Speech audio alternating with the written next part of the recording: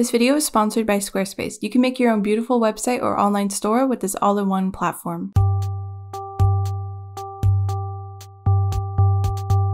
Hey everyone, this video I'm going to be talking about all of your favorite sketchbooks. I made a video previous to this one talking about my favorite sketchbooks and what sketchbooks I recommend for mixed media sketching specifically, but this video is going to cover all sorts of different sketchbooks that all of you recommended to me in the comments and also on an Instagram story question because I asked you to send me your favorite sketchbooks and I made a list of all the ones I could find that were mentioned and I put little tick marks beside ones that were mentioned multiple times. So let's just jump right into the sketchbooks. But before we do, I just want to explain what you'll be watching. I'm actually doing a commission in this video. It's a sketch commission of someone's dog and they wanted me to do it in my sort of sketchbook style with ink and watercolor backgrounds and like um, loose brushstrokes and all that stuff. So I'm sort of sketching in this video while I talk about sketchbooks. So I hope you enjoy seeing that. And now onto the sketchbooks. Now, first of all, the most popular sketchbook that you guys recommended was the Talens Art Creations. I've actually had my eye on these, but I've avoided getting them because they have an off-white paper and I kind of prefer the paper I work on to be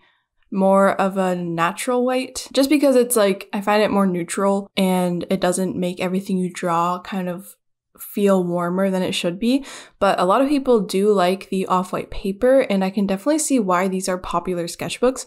They aren't too expensive and they have really nice binding, the like fake leather cover and like really pretty colors. I actually would like to try this sketchbook one day. I might get the smallest one. It's really cute. It's like 12 by 12 centimeters, a tiny little square pocket sketchbook. But if I were to use it as like my everyday sketchbook, I think I would want the A5 size. It has 140 GSM acid-free paper. And the only thing is that it's off-white, but that's not really like a total deal breaker for me. It's just not what I prefer, but for the price, I think I would like it. I think I saw it on the stairs, like the smallest size was like $6.99, so you can't really go wrong with that. And I think it goes all the way up to $23.99 for the 29.5 by 21 centimeters, which is pretty big. And there's so many colors. They're really pretty. Um, I would definitely look into this sketchbook if I were you and you haven't heard of it. They look really cool and I would like to try them, but I wish they made a natural white paper, but what can you do? Another sketchbook that I talked about in my video, but a lot of you also liked it was the Illo sketchbook. And I've already talked about this one in more detail in my previous video, so I'm not going to talk about it too much. I like the Illo sketchbook. I like the 8x8 one inches. And um, the only thing about it is it's not acid-free paper, meaning it will yellow over time quicker than acid-free sketchbooks. I wish it was acid-free, but I mean, I don't really see myself buying more Illos just because it's really hard to get them to where I live for a reasonable price. The next most talked about sketchbook was the Canson Mixed Media sketchbook, and this was one of the ones I also recommended. It's that blue sketchbook you see everywhere, and someone specifically recommended the Canson XL hardcover. It's like the same as the blue cover one, but it has a black cover instead, and I guess it's harder than the original one, but I find the original one hard enough. I talk more about the sketchbook in my other video as well, but but I did want to mention it because the Illo and the Canson mixed media sketchbook kept coming up in the comments and in my Instagram post where I asked you guys what your favorite sketchbooks were. Now, another one that a lot of people talked about, and I'm familiar with this sketchbook, but I've never used it, is the Leuchtturm 1917 sketchbook. A lot of people talked about this. It's sort of like a Moleskine dupe kind of sketchbook. Well, I don't even know if you can call it a dupe because it's like probably the same price, and I'm not really a fan of Moleskine too much. And I don't know if I'd be a fan of this sketchbook just because I work very mixed media heavy and I use a lot of wet media when I draw. However, that's not really the point of this sketchbook. It's not for mixed media, it's just for sketching. It's very thin paper. You can kind of see through it, but there's a lot of pages. It's very smooth and has a slight tooth, apparently. Through my research, I found this out. There's so many different colors, which I think is a really appealing part of this line of sketchbooks. You can get any color you want basically. And it's probably really good for pencil, pencil crayon, ballpoint pen, nothing with too heavy wet media. If you want to work with dry media and just like simple sketching tools, I think this is a great sketchbook. Now, another one that was talked about a lot is Stillman and Birn. I was not familiar with Stillman and Birn before that video, but after that video came out, a lot of people were recommending it to me. So I checked them out and I liked their prices a lot and they have so many different types of sketchbooks for your needs. There's like an alpha, beta, gamma, delta, epsilon, zeta, or zeta, and nova So those are all the different lines of sketchbooks and they all have different types of paper, tooth, and tones to the paper. Um, I'll put a little chart up to help you. People recommended it to me so much that I actually ordered one after I posted my video, and it's going to be my next sketchbook. I got the beta one, I think. Okay, the Stillman and Birn one I got was a beta sketchbook, 8.25 by 11.75. It's A4 size, hardbound, 270 GSM, and natural white cold press slash rough. Um, this is kind of like my ideal sketchbook situation, and for the price, I was very happy with this. I also ordered a bunch of Faber-Castell Polychromos pencils because I realized I like them a lot more than the Prismacolor soft core ones. So I would definitely recommend checking out Stillman and Birn. They have so many options and um, sizes, paper tones, paper type. There's hardbound, wirebound, and softbound. You can basically find whatever you want, which I think is why so many people recommended them. So definitely check them out. Then we have Hahnemühle sketchbooks. Um, someone said the watercolor sketchbook they recommend, and I'm familiar with this brand. I've seen them around. I probably have some of their products somewhere. I'm not sure exactly, um, but there's their watercolor book is 200 GSM, fine grained surface, 30 sheets.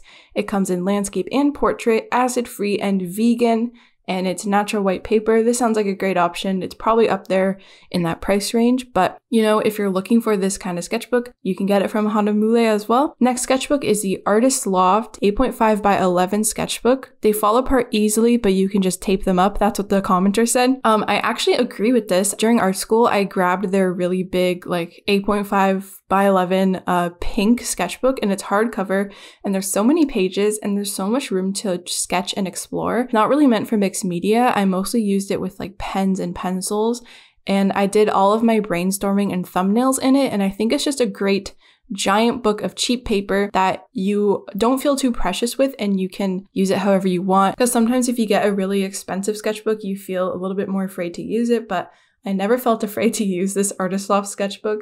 And if it falls apart, you can just tape up the spine, you can put stickers on it. Um, I think it's a really good option. They have smaller ones as well, and it's not too expensive, and I believe you can just use a coupon on it as well because it's a Michaels brand. Someone also mentioned the Holbein sketchbook or Holbein or Olbein. I don't know how to pronounce this one.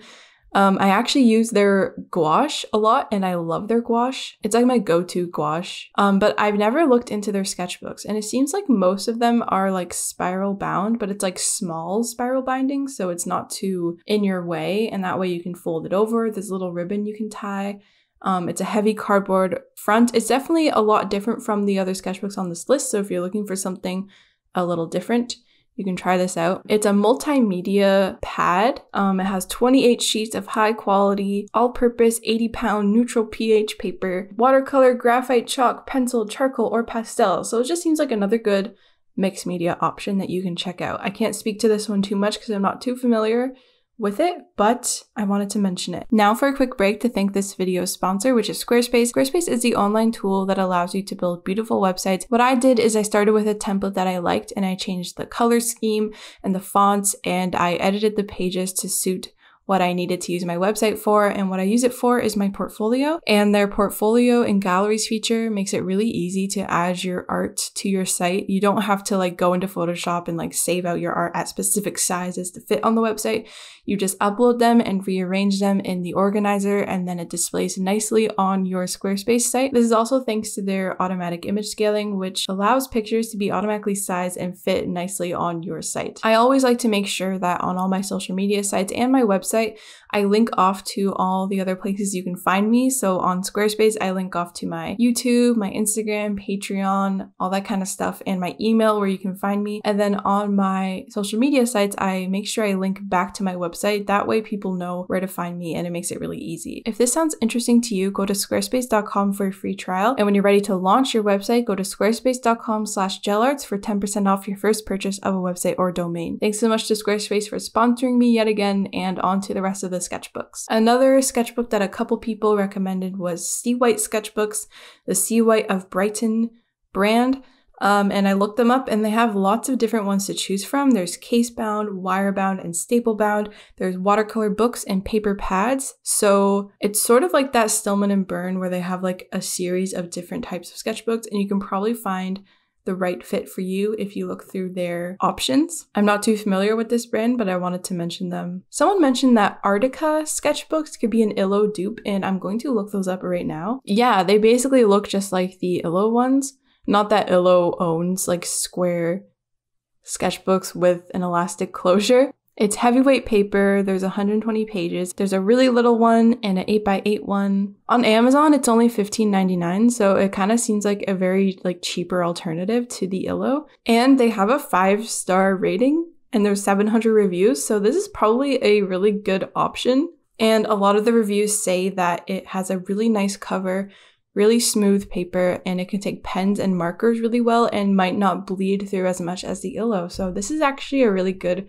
recommendation. And if you're looking for something similar to the Illo, you should definitely check this out. And hopefully I can check it out one day too. And also, just like the Illo, the paper is not acid free. The next brand, Moleskine, you've probably all heard of them. I've actually not had great luck with their sketchbooks. They have different types of books, and I made the mistake of getting their like basic plain journal type of thing, and it wasn't really like made for art exactly. It just made for like pencils and stuff. The appealing part of Moleskine is their really nice binding and all the colors that they have. And it's just like a high quality built sketchbook. But I've never really found it like that worth the hype. Like I, I find other sketchbooks work better for me for a comparable price or less. Um, but some people stand by Moleskines and they're definitely great quality. Like I've tried their art album before um, they also have watercolor blocks, which I've never tried. They have watercolor notebooks. Maybe that would fit my work style a bit more. Someone mentioned the Moleskine multimedia paper, but I can't really like find it on their official website. Sketch album art collection. I've actually used the square sketch album art one. I've filled two of those in the past, and it was okay, but the thing I also don't like about Moleskine is how the paper is off white. That's just something I don't prefer working on as an artist, but like a lot of people do prefer that. But yeah, if you like those like minimalistic, hardcover, leathery covers that are built really well and lay flat, sort of premium feeling sketchbooks that are off white, Moleskine is another brand for that. And make sure you get the art ones and not the like journal ones because the journal ones have really thin paper. The next one are Koval sketchbooks, and uh, a couple people mentioned these. They are premium quality art sketchbooks. They're a small uh, manufacturer producing premium sketchbooks. They use high quality paper from Fabriano and Arches, and it's hand binding. So these seem like really kind of like premium, high quality sketchbooks. If you want something really nice, um, that's sort of handmade with nice paper. They seem really expensive. One of them is like $65, 49 Little ones for 25 46. But, you know, they have really high quality paper and it's a small business, it looks like. So this is a cool find to check out if you were interested. Next one is Etchr. I've actually worked with Etchr before a couple times. They've like kind of sent me stuff in the past. Um, they sent me quite a few things actually, and I have their watercolor block right now and I really like it. They make really nice paper and really nice art supplies. I've used their watercolor books, the 100% cotton ones, and they're really nice to work with. I love cotton paper. It's like the best paper you can get for watercolor if it's 100% cotton. Um, it's definitely on the pricier end. There's also the Etchr Perfect Sketchbook, which I've never tried, and someone mentioned that in my comments. And I would like to try that one day. Yeah, I've never tried the Perfect Sketchbook. They're they have like a gray cover. The ones I've tried were the ones that were watercolor and they had a white cover that was like fabric. They're really like high end sketchbooks, really high quality. If you want something really nice, I would recommend Etchr. All right, next one is the Pentalic Travel Sketchbook. I've actually heard about this one a lot in art school. I think a lot of my friends used it, or like there was this one person in my class who used it for all of their sketchbooks, and every time they finished a sketchbook, they'd get another Pentalic one. They come in different colors on the front. Make sure you get the sketch one and not the dot grid. They're another one of those sketchbooks that come in different bright covers with elastic closures, that kind of stuff. It's on my Amazon, but it's $20 for a 3x4 one, which I'm assuming is not the actual retail price. But they have a lot of cool colors and I've definitely heard good things about them. So this is a good one to check out. One of the sketchbooks I talked about in my last video was a Strathmore sketchbook. The Strathmore Vision, and the Strathmore Mixed Media Softcover 500 series, which is the 100% cotton watercolor sketchbook or like mixed media sketchbook. Another person recommended the Strathmore Mixed Media Paper Pad. Basically, all the Strathmore Mixed Media series of sketchbooks are pretty good choices if you want a nice quality sketchbook. Strathmore makes tons of different kinds of paper, and I think it's good to look into them. Um, I talked more about it in my other video, but I'll mention it here because it was recommended by a lot of you. Now we have Mossery, and I've heard of Mossery before. They used to be really trendy. Um, they're actually quite expensive, but you can personalize them, and they collaborate with a lot of artists to make beautiful covers. So you can choose from tons of different um, artwork on the covers. And I would actually like to collab with them one day, but I've never had the chance. It's a mixed media paper. Their uh, big sketchbook option has 35 sheets or 70 pages. There's also a $32 option, but they only have 11 pages, which is kind of too small for a sketchbook, in my opinion. Um, but Mossery is a really cool brand if you want to get something personalized and customized, um, but it is on the pricey end. From my last video, I talked about the Arteza sketchbook, the big A4 sketchbook from Arteza, and someone else also recommended it to me in my like Instagram post, so I wanted to mention it as well. Um, but if you want to know more about it, check out my other video. All right, now there's some that I'm not too familiar with as we go. Okay, the next one is the Modena notebook. Someone recommended this one and they said make sure you get the one with plain paper so that it's actually a sketchbook. So I assume this is the kind of sketchbook that has more thin paper that's good for pencil sketching um, which is one you can try out if you want. They have a lot of different colors. Um, the website isn't loading properly for me for some reason, but another one I wanted to mention. Then we have Fabriano Venezia. Venezia. It has like a red cover with a bunch of little like red rectangles on it. Fabriano calls it elegant book made of Accademia paper, ideal for drawing or tempera. There's a ribbon. It's 200 GSM. It's uh, thread bound. It comes in three different sizes and it's white, acid free. I'd also just say like check out other Fabriano stuff as well, but this is an interesting find. I've never heard of this sketchbook before. Next we have Ohuhu and I love their markers and I actually have some of their marker pads. People recommended their marker pad in their sketchbooks. Um, they're pretty thick and there's a lot of paper in them. I can't speak to them too much because I haven't used them much yet.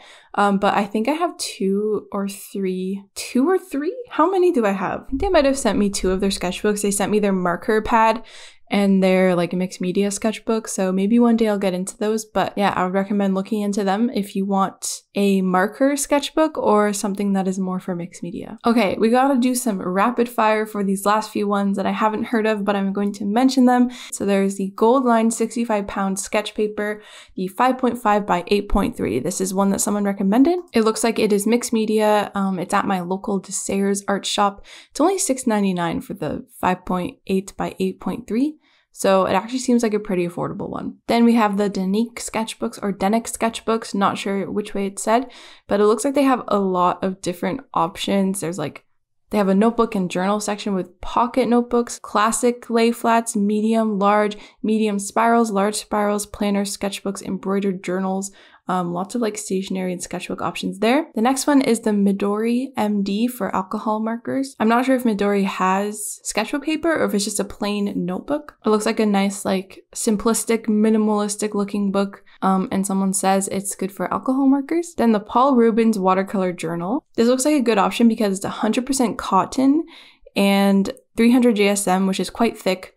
20 sheets, um, 7.6 by 5.3. And I'm always looking for good um, watercolor journals, and this one is 100% cotton, which means I assume it's acid free, but I'm actually not sure. And it's only $20, which is like a mid range price in my opinion. Then the Dina Wakley Media Journal. They're available in three sizes, there's 54 pages. This is an interesting one because the sketchbooks have different papers inside them. In one of these, for example, the uh, the blue edition has blue denim paper, heavyweight cotton paper, and white burlap, so you can try a bunch of different papers in your sketchbook. That really puts like the mix in mixed media, which is what it says. That's actually a pretty cool find that I didn't know existed. So that's a cool one to try if you like doing like a lot of different experimentation in your sketchbook. The next recommended one is the Brustro sketchbook. I've never heard of this brand, but it looks like Brustro has its own website, and I don't know what this currency is, but there's a lot of options. But that's another brand to look into for sketchbooks. I found one on Amazon that is a wire bound A5 160 GSM acid free, so that's always good in a sketchbook. It looks like there's four sizes available. The paper is made in Italy. So it looks like they have Wirobound as well as hardcover. Then we have the Tavolozza sketchbook or Tavolozza. I found one on Amazon that's the 8.5 by 5.5. Comes with a pack of two. You get 100 sheets of 100 GSM double sided, hardbound, spiral bound sketch pad, acid free paper. So it's a hardcover but spiral bound. And it looks like it's slightly off white. It looks like they also have watercolor pads um, 8.5 by 8.5. They're square. It has like a red cover, pack of two, um, 22.99 US dollars for two of them, which I think is a good deal. This might be the one that the commenter was talking about. Um, this looks like a interesting option for sure. And it has decent reviews, 4.5 stars out of 5, 281 reviews, um, acid-free paper, 230 GSM, another great watercolor sketchbook find. All right, the last one I have on my list is the Grumbacher sketchbook. Um, the one I found is mixed media. It's actually an interesting in and out pages. Oh, I found one that has like spiral bound binding on the inside, but it's like covered. I think I've actually had a big uh pad of paper from this brand before and it was it was okay. It was like a huge pad of paper I was using for life drawing. Um this one is 185 GSM side wired, 40 white sheets. I believe it is acid free, good for wet and dry media. So you can pull the pages out and then put them back in the sketchbook, which is interesting. And I'm sure this brand has tons of other options. Yeah, I've used their mixed media pad before. I wasn't honestly a huge fan of it, but it's cool that you can pull the pages out and put them back in. And I remember I think it was recommended to me by my teacher, so some people do like these. Um, they have like bigger ones without the hidden wire that you can pull in and out of the sketchbook. I hope this video was interesting and that you might have heard of some new sketchbooks that you've never tried and some brands that you've never heard of before because there's definitely I definitely learned a lot from making this video and making my other video and reading all your comments about all the different kinds of sketchbooks that you recommend. And I hope to try some of them in the future. And I'm really excited to try the Stillman and Birn one that I got the beta sketchbook that I got. Um, I'm very excited. And thanks so much for telling me all your favorite sketchbooks. And if there's more that I haven't talked about, please let me know in the in the comments because I can always add to the list in the description with the ones that people um, mention in the comments. And it's like a huge master list of sketchbooks that all my like followers enjoy using. So I really hope you enjoyed this. Uh, thanks so much for watching. Hope you enjoyed seeing the art as well. And I'll see you in my next video.